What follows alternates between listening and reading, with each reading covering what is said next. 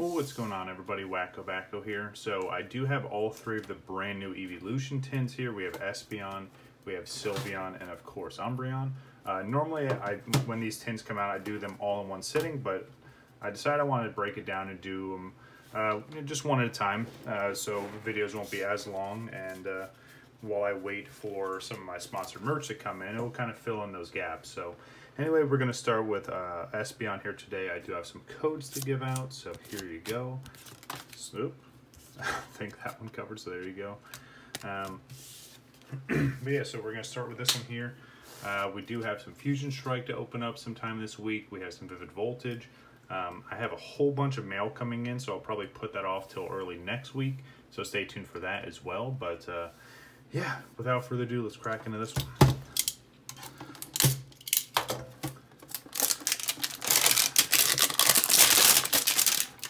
Always nice to get some new promos in, especially because I've been working on the binder. Oh, nice. Okay, I was actually kind of interested to see what the packs were going to be, but uh, yeah, so here we go. That Espeon promo there looks absolutely amazing, and that is promo number 201.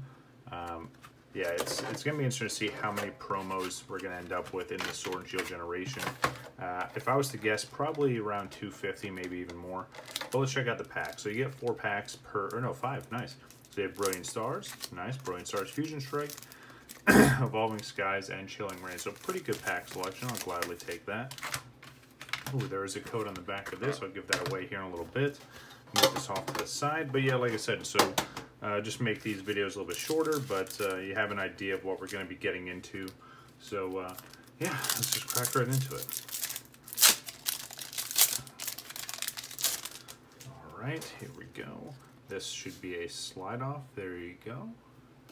Flip it on over. Let's see if we can get any good pulls out of these tins. The tins, just like ETBs, are very hit and miss but uh, I don't know, you, you're paying for like the packaging and the promo and stuff like that. So if you get any pulls out of it, um, you know, it's, you know, I, I consider it a bonus. So Cybold is the first reverse and behind it is a Sawsbuck. All right, so nothing out of Chilling Reign, but it's all right. Got Evolving Skies up next.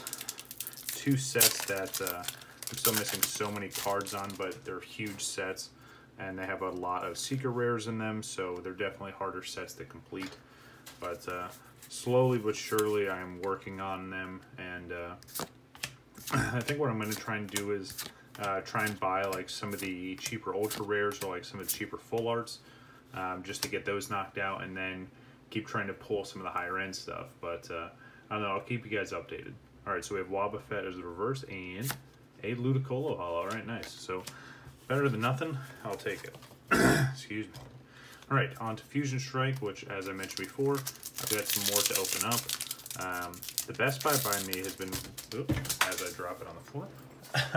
um, the Best Buy by me uh, has been really good with um, just, you know, having good amount of inventory to get. Flip this, wow, that one was all kinds of weird.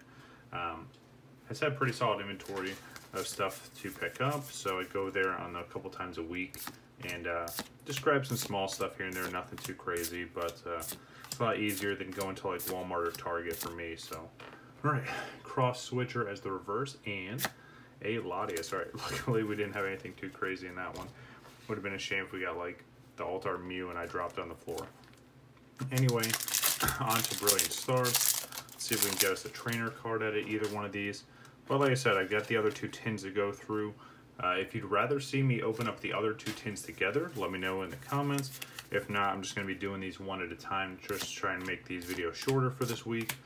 And uh, yeah, then just roll into next week with even more content. So Purrloin as the reverse and a Golurk. Okay, let's see if we can get anything more than just one holo.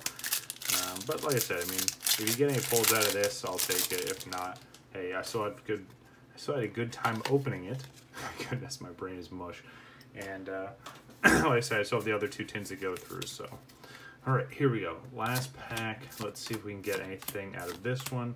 Let's get at least a trainer card. I don't even care if it's one I already pulled before. Hawlucha. Nope, no trainer card. And live art. Okay.